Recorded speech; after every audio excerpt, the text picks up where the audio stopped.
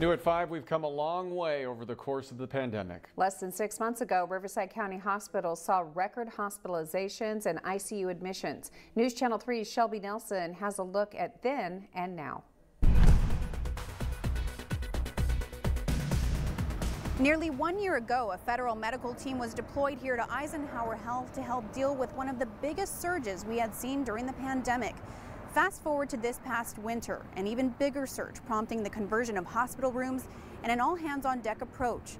Now, months later, little by little, we're starting to see more progress and a sense of normalcy. We do still have patients in the hospital and specifically in the ICU who have COVID 19, but the scale at which it's in our hospital or in the community is um, one twentieth of where it was. Emotionally, it was hard because never knew, you know, it's a new disease. You never knew what was going to happen next. Two medical professionals at different desert hospitals recalling one very big challenge overcoming the height of the pandemic.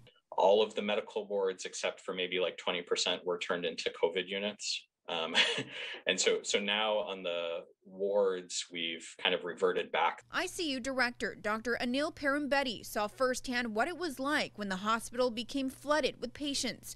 This is what the ICU looked like before vaccines came into the picture.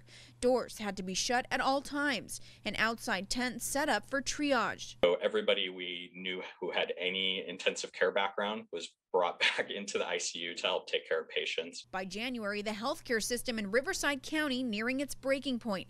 Record hospitalizations on a single day totaled more than 1,600 patients. As of right now, things have calmed down a lot uh, compared to when we first started with COVID. Nelson Moreno had only been a registered nurse for roughly six months before things took a turn. We are a neurology floor. We did convert to COVID, so we were all COVID. It helped me grow a lot as a nurse, um, and it really helped me grow empathetically with these patients because they they were by themselves. Now up to two guests are allowed per patient, but just months ago no one could come inside.